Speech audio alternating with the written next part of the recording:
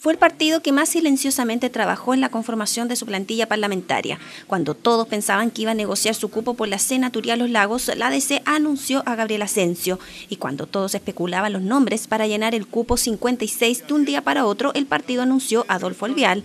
Así, metódicamente y en bajo perfil, al menos mediático, la DC en la región de Los Lagos logró completar su plantilla y hoy la presentó oficialmente a la ciudadanía.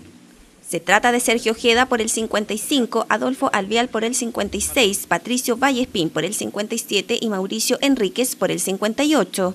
Lo que queremos es que el próximo gobierno tenga un parlamento que le permita eh, eh, eh, hacer los cambios que Chile está exigiendo. Hay una gran cantidad de temas, una gran cantidad de temas que van a tener que de alguna manera ser conocidos por el Parlamento. Todo el esfuerzo nuestro está por conseguir la mayor cantidad de votos posible que nos permitan doblar. Ese es el esfuerzo grande, es el esfuerzo mayor que nosotros podemos hacer. Así como esta diversidad que constituyó la concertación en el pasado para derrotar la dictadura, esta misma diversidad hoy se une para derrotar la desigualdad en Chile.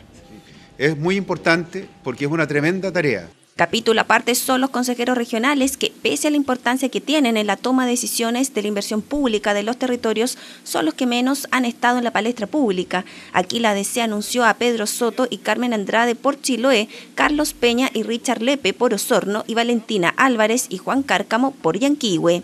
Es primera vez en la historia de nuestro país en que podemos elegir por votación popular a los consejeros regionales. Y mi candidatura, como en forma personal, está enfocada también a explicar la relevancia que tiene este, este cargo de consejeros regionales. Eh, hago un llamado también a los legisladores a que aprueben prontamente la ley de regionalización. Lo que están evaluando la ley de regionalización efectivamente traspasan decisiones hacia las regiones. Hoy día claramente todos sabemos lo que se está discutiendo, que sencillamente los consejeros aprueben marcos generales y no proyecto a proyecto. Esa es una forma de disminuir la presencia, de disminuir la importancia del consejero regional y sencillamente tratar de ellos de posicionarse. Yo creo que en democracia y en la profundización de la democracia no hay que tenerle temor a la mayor participación y a los nuevos liderazgos que surgen en las regiones. Entregar en cada uno de los rincones de nuestra región un compromiso con la gente para escucharla, para representarla y aspirar a derrotar las tantas desigualdades que siguen en nuestra sociedad y que mucha gente hoy día todavía reclama que no tiene acceso. Yo creo que la gran apuesta de nosotros es seguir trabajando en la senda de la igualdad de oportunidades, que toda la gente tenga igualdad de oportunidades